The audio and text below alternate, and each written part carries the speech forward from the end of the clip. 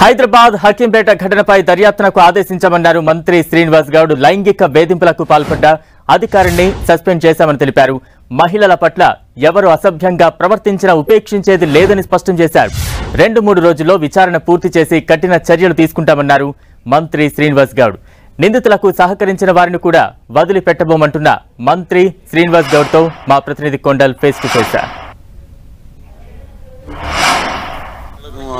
వేధింపుల పైన ప్రభుత్వం సీరియస్ అయింది. దీనిపై సంబంధించి అధికారిని సస్పెండ్ కూడా చేశారు. మంత్రి గారు ఉన్నారు. ఏంటి సార్? ఏంది మీ దృష్టికి వచ్చింది? ఏ- ఏం జరిగిందంట మార్నింగ్ పేపర్లో కథనం వచ్చింది. దాని మీద ట్విట్టర్లో మా కవితమ్మ అన్న ఏదో జరిగింది? విచారించాను నేను. ఇమ్మీడియట్గా లేదమ్మా యాక్షన్ తీసుకుంటామని చెప్పింది. తర్వాత పేపర్ చూసినాం. పేపర్ చూడగానే మాకు కూడా బాధ అనిపించింది. సరే వాస్తవం కాదు తర్వాత ఇష్యూ.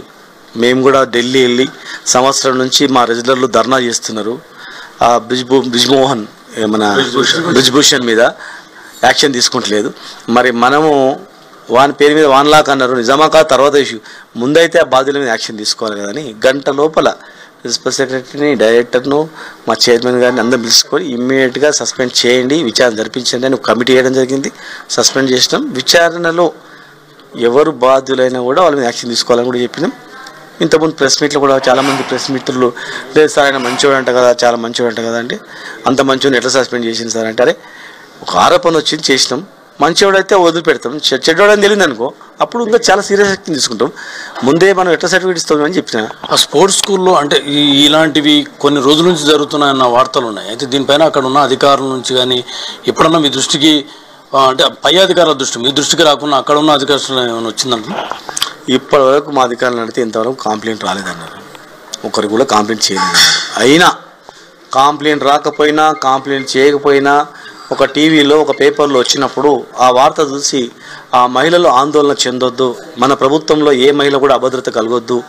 మన నాయకుడు మన ప్రభుత్వం మన ముఖ్యమంత్రి గారు ఇచ్చినటువంటిది మహిళలకు ఎన్నో రకాల స్కీమ్స్ రక్షణ షీ టీమ్స్ రకరకాల భద్రత విషయంలో ఎన్నో జాగ్రత్తలు పాటించుకున్నటువంటి ఈ ప్రభుత్వానికి ఇతర రాష్ట్రాల్లో కూడా తెలంగాణ మాదిరిగా ఇట్లా యాక్షన్ తీసుకోవాలంటే ఉండాలనేది ఒక మోడల్గా ఉండాలనే ఉద్దేశంతోనే ఇలా యాక్షన్ తీసుకున్నాం సస్పెండ్ చేసినాం. తర్వాత ఫర్దర్ యాక్షన్ తర్వాత చూస్తాం. ఓకే థ్యాంక్ యూ ఇది ఖచ్చితంగా ఎవరైతే లైంగిక వేధింపుల ఆరోపణలు ఎదుర్కొంటున్న అధికారిని సస్పెండ్ చేశాం అవసరమైతే పూర్తి విచారణ చేసి నిజానిజాలు తేలిన తర్వాత ఖచ్చితంగా కఠినమైన మరింత కఠినమైన చర్యలు తీసుకుంటాం. దానికి సహకరించిన అందరిపై కూడా చర్యలు ఉంటాయంటున్నాను మంత్రి శ్రీనివాస్ గౌడ్.